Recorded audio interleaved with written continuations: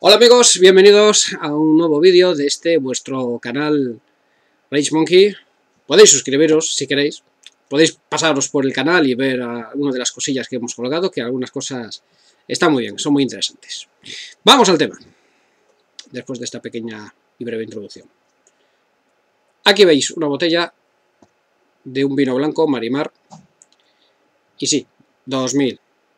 Vale, entonces igual alguno se pregunta, ¿me va a hablar de un vino blanco que tomó pues, en el 2000, 2001, 2002? No. Eh, vamos a revisar un poquito con Punset y vamos a hablar también de un experimento científico. Este vino del año 2000, como veis aquí, lo abrimos y lo probamos el año pasado, en 2014. Es decir, que se ha tirado nada más y nada menos que 14 años en botella. Ahí está. Bueno, vamos a empezar primero con una pequeña eh, introducción del Marimar para que os podáis situar. Como sabéis, Bodegas Torres, que es eh, digamos la casa matriz de, de este producto, tiene viñedos también en California, si no lo sabéis, pues os lo comento, tiene viñedos en California, así que como también en Chile. Y en California pues realiza este Chardonnay Marimar, que es un mono varietal. En California les gusta mucho embotellar los vinos de manera monovarietal, es decir, un solo tipo de, uva. Igual oís por ahí de fondo una especie como de paloma o un ruido raro, es Freye, que la pobrecilla está con, con el celo y basta que yo esté aquí para que ella quiera subir y aparecer otra vez eh, en plano. vamos a ver si consigo tranquilizarla un poco para que podamos seguir adelante con, la grabación. Por acá, aquí quiere subir. vamos allá. Vino blanco Chardonnay. Eh, californiano. Complicado de conseguir aquí porque no es un vino que se pueda vender por temas de importación y de exportación a un precio asequible. Y probablemente si quisiéramos eh, un vino blanco monovarietal, chardonnay, pues podamos tener muchas opciones en el mercado. Pero no deja de ser un vino eh, interesante. Si tenéis la ocasión, pues animaros porque yo creo que es un vino que nos va a defraudar. Yo este vino ya lo había probado, eh, aquí tengo que dar un saludo y una mención especial al maestro. Eh, Braulio, sí, un día tu padre organizó una cena, de esas que solíamos organizar, y nos sacó un marimar para, eh, para regar esos ricos alimentos que él, que él, nos preparó. Ahí tuvimos contacto con el marimar y ahí, tanto Isone como yo, tuvimos muy claro que era un vino que nos gustaba. Entraba muy bien en nuestro paladar. Hace cuestión de un par de años, eh, Bodegas Torres hizo una de sus Torres Experience aquí en Donosti. Si tenéis ocasión de ir algún día a una de estas eh, experiencias Torres, os lo recomiendo, porque puedes probar diferentes vinos que ellos elaboran, tanto aquí como vinos que vienen de Chile o vinos californianos.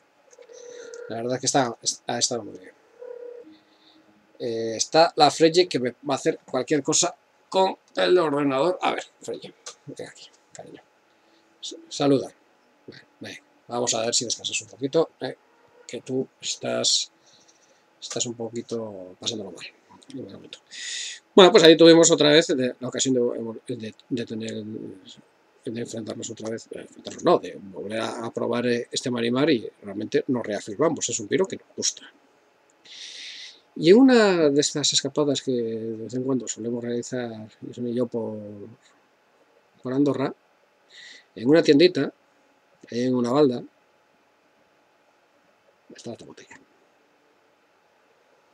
No lo dudamos, fuimos a por ella. Vale, la cuestión es, una botella de un vino blanco que no se prepara el vino para ser madurado muchos años en botella, ¿cómo iba a soportar el paso del tiempo 14 años después? Yo probablemente si tuviese ocasión de volver a comprar un Marimar, mm, no sería para tenerlo 14 años en mi bodega personal, mi pequeña bodega personal que tengo en casa, no lo tendría 14 años otra vez. Pero en este caso era o tomarlo o dejarlo. Así que fuimos a por todas, nos trajimos la botella y el año pasado pues la abrimos. Y el resultado es que sorprendentemente estaba bien. Aguantó muy dignamente el paso del tiempo. Vosotros sabéis que cuando se sirve el vino en general se recomienda hacerlo en mantel blanco, porque así podemos en esa primera fase de visual tener un contraste entre el blanco y el vino que está en la copa. Y eso nos puede ir dando pistas de su madurez. Eh, los expertos eh, te podrían decir, bueno, pues este vino, viendo el color que ha adquirido, se sabe que no es eh, un vino joven, sino que ha madurado bastante, incluso alguno hasta me podría decir, bueno, pues tanto tiempo, yo no tengo el ojo tan adiestrado. Sí se nota, porque sí es curioso, sí se nota cuando un vino ha madurado, cuando eh, adquiere unos tonos, unos tonos especiales. Eh, seguramente en internet podréis ver diferentes tablas de, los matices que va adquiriendo un vino blanco y un vino tinto con el paso del tiempo. Eh, este, en este caso se notaba.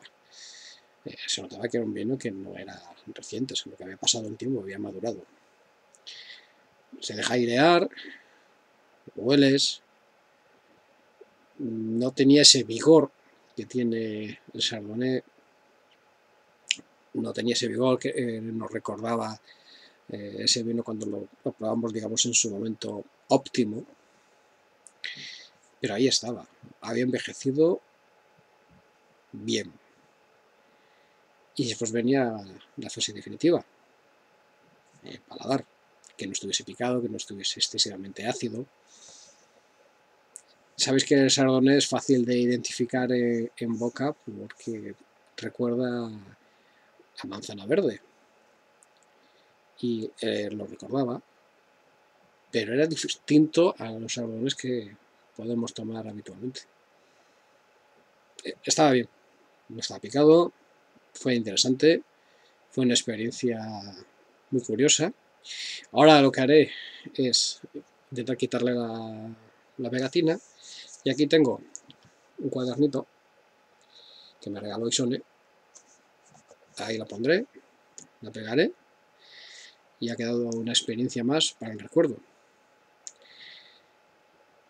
Yo, insisto, no, no haría muchos más experimentos de estos por voluntad propia. En este caso, pues no, no había otra opción.